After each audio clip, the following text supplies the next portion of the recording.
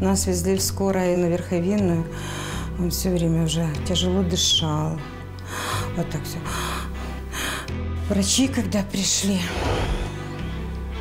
сказали, что ребенок очень тяжелый. Вот они приехали сюда, да, и здесь уточнялся диагноз этого пациента. Потому, ну, там, по-моему, они находились на лечении в Мироновке по поводу пневмонии, ну, недели две, наверное, они точно задержались. Ребенок уже не спал, он был напуган, и мы были напуганы все. Ребенок ночью стоял возле окошка, дышал воздухом, то что лежать он вообще не мог, он задыхался.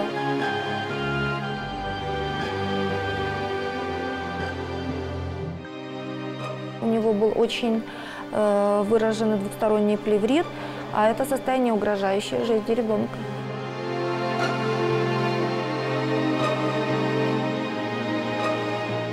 Как-то утром я э, приезжаю с сумками, как всегда, естественно, подхожу к палате, дверь приоткрыта и слышу такой разговор. Моя свекровь, то бишь бабушка, разговаривает по телефону э, с, э, со своей там подружкой з села і говорить їй щось, це все, конець, готуйтесь к похоронам. Я й похолодела.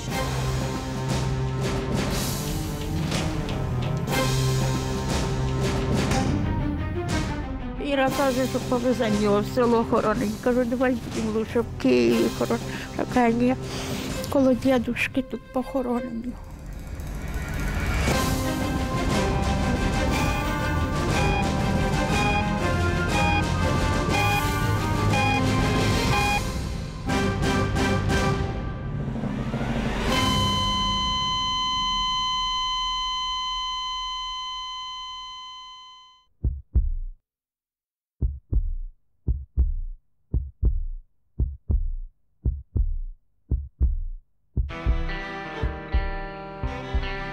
Тоді Іра сказала, ні.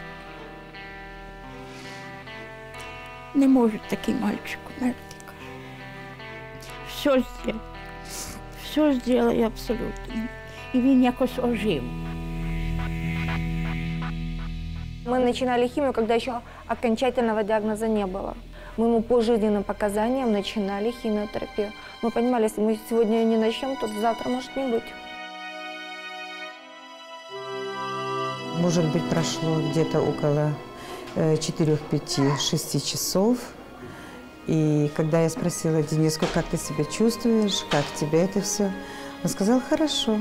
А потом посмотрел, улыбнулся, попросил опустить ему подушечку пониже.